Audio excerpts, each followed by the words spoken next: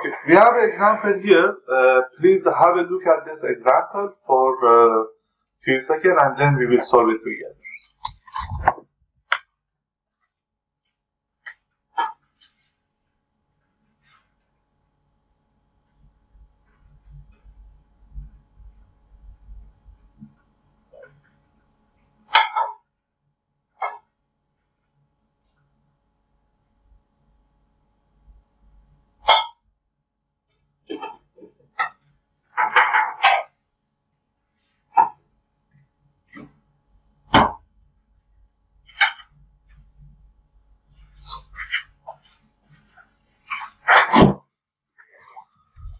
Okay, so uh, it's a very simple uh, example that uh, I'm sure most of you already find uh, you could already find the the answer.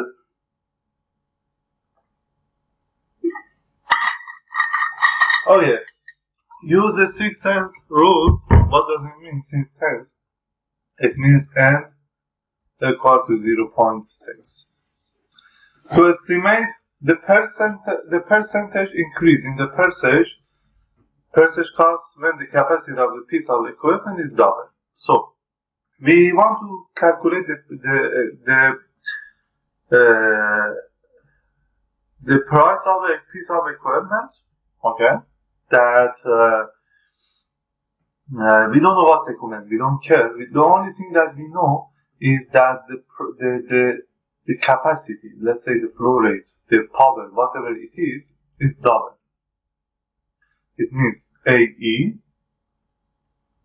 over A, AA over AB is double, is 2. Okay? So we have this equation. CA over CB is AA over AB and power is 0.6.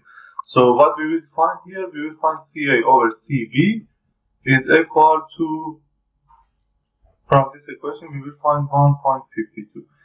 Okay, so before it was 1, okay, when the capacity was the same, if you put the capacity 1 here, 1 over 1, give you CA over CB. Okay, before that the capacity was the same, so this uh, ratio was 1. Now this ratio is 1, 1.52. Okay, so how much difference there is, how much percent, to find the percent, we will, we will have to use such equation. The new value minus the previous value divided by previous value times 100. That gives you 52%. So when we, for that equipment, if I, for whatever equipment it is that I don't know that the power is 0.6, if I double the capacity, the price will increase 52%. The important, the important message of this example is that if I double my capacity, the price of equipment, it doesn't increases necessarily two times. Okay, it only increase 50%. It doesn't increase 100%, right? It doesn't get doubled. So that means they have that that that the reason is because the cost the cost and capacity they have an exponential exponential uh, relation okay? Not a linear relation. So and we can say in general we can say the larger the equipment the lower the cost of equipment per unit of capacity okay? So when we increase the, the size of the equipment the capacity of the equipment the cost increase but the cost per capacity is less. Okay, the cost per capacity is less.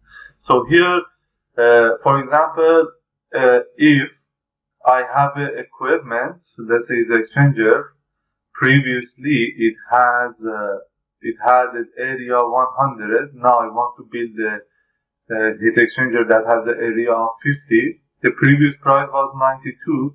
If I uh, if I uh, if I make the area of the exchanger half of the initial area, the price doesn't get necessarily half. Okay, the price decrease, but it doesn't get half. Okay, or vice versa. If I increase the area, the, the price doesn't get double.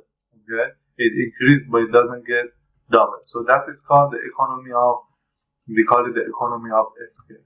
Okay, a 100 square meter exchanger is not necessarily twice as expensive as a 50 square meter based on what you see in this equation.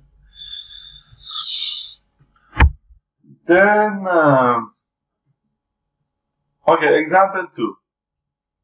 Compare the error for the scale up of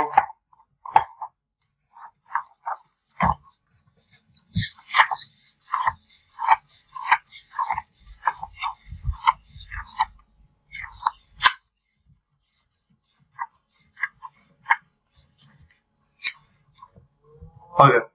Compare the error for the scale up of a heat exchanger by a factor of 5 using the 6 okay, uh, 6 tenths rule in the place of uh, cost exponent given in table. Okay, so compare the error in the scale up of a heat exchanger by a factor of 5. Okay, so you want to scale up a heat exchanger by a factor of 5. So the new area the new capacity or the new area is five times bigger than the previous one. Okay. So he's asking you once use the six tenths rule. Okay. It means once use n 0.6 and once go to table 5.3 and find the n from that table. Let's go to that table to see what we have. Okay, for in from that table, for the heat exchanger shell and tube carbon steel, for this capacity, N is 0.59, a little bit less than 0.6. So once we have to use 0.6 and once we have to use the value from the table.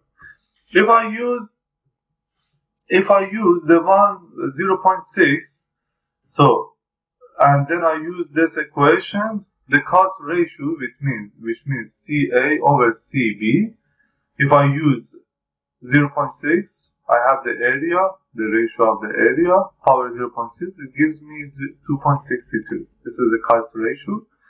Once, if I go use the one which from table, which is a bit more accurate, I will get 2.58, which is not a big difference, right?